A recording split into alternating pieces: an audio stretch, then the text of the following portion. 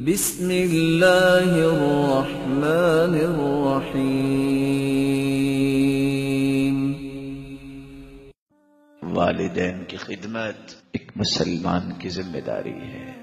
چوتھی بات۔ رب کو راضی کرنا چاہتے ہو تو والدین کو راضی کرو۔ اور اگر رب کو ناراض کرنا ہے تو والدین ناراض ہوں گے تو اللہ بھی ناراض ہو جائے گا۔ الوالد اوسط ابواب الجنہ۔ باپ جنت کا درمیانہ دروازہ ہے۔ چاہتے ہو تو حفاظت کر لو، چاہتے ہو تو ضائع کر لو۔ آج کی نوجوان نسل وہ سمجھتی ہے کہ باپ کو کیا پتا ہے، ماں کو کیا پتا ہے۔ حقیقت یہ ہے کہ اس نوجوان نسل کو کیا پتا ہے۔ اسلام نے تو تعلیمات دی ہیں، اکرام کی، احترام کی، محبت اخلاق و نرمی کی۔ اسلام نے تو یہ تعلیمات نہیں دی کہ باپ پوچھے ہاں بھائی، کہاں ہو؟ آگے سے جواب ملے، آپ کو کیا مسئلہ ہے؟ یہ تو اسلامی تعلیمات نہیں۔ بیٹا، کب آؤ گے؟ تو آگے سے جواب ملے، خیر ہے۔ کیا کام ہے بتائیے؟ باپ پوچھے، کیا کر رہے ہو؟ تو جواب آگے سے ملے، آپ مجھ پہ دروگے لگے ہوئے ہیں، جو چاہے میں کروں۔ کسی نیک اولاد کا جواب نہیں۔ اولاد کی پانچ قسمیں ہیں۔ یہاں بیٹھے بیٹھے طے کر لیجیے گا کہ میں اس وقت کس قسم سے ہوں۔ پہلی قسم۔ والدین جو کہتے ہیں وہ کرتے نہیں۔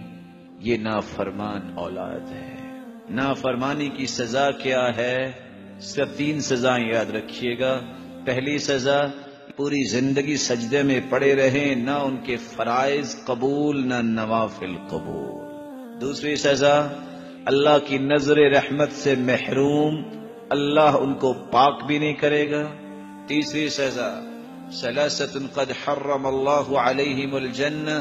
تین ایسے بدبخت ہیں جن پہ جنت حرام ہے، اگر توبہ نہیں کرتے۔ والعاق، ان میں ایک نافرمان بیٹا ہے۔ اولاد کی دوسری قسم، بات مانتے تو ہیں جیسے والدین کہتے ہیں لیکن دل کی خوشی سے نہیں۔ مجبوری کیا ہے؟ مار پڑے گی۔ گھر سے نہ نکال دیں۔ فَهَؤُلَاءِ لَا يُؤْجَرُونَ۔ یہ کام کریں بھی تو اجر نہیں ملے گا۔ یفش علیہم ڈر ہے کہ یہ اجر سے محروم ہے اولاد کی تیسری قسم۔ کام تو کرتے ہیں، ساتھ دکھ بھی دیتے ہیں۔ بات مانی اور ساتھ احسان جتلایا۔ تکلیف دی، کیا کہا؟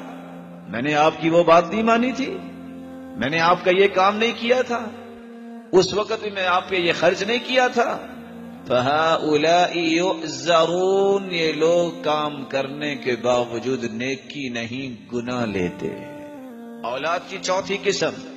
جو والدین کہتے ہیں، وہ کرتے تو ہیں، دل کی خوشی سے کہتے ہیں۔ الحمد مجھ سے اللہ نے اپنے والدین کا ایک حق تو پورا کروانے کی توفیق دے دی۔ یہ ہے جن کو اللہ تعالی اجر اور ثواب سے نوازے گا۔ پانچویں اولاد اللہ دین فالون یرید الوالدین والدین کہتے نہیں، والدین کی خواہشات ہوتی ہیں، نیکی کی، بلندی کی رفت کی کہنے سے پہلے جو اولاد ان کی خواہشوں کو پورا کر دے، یہی اولاد اللہ کی ہاں سب سے بلند مقام حاصل کرنے والی ہے۔ سوچئے، ان پانچ اولادوں میں سے ہم کس اولاد میں سے ہیں؟ ہر شخص پہچان سکتا ہے۔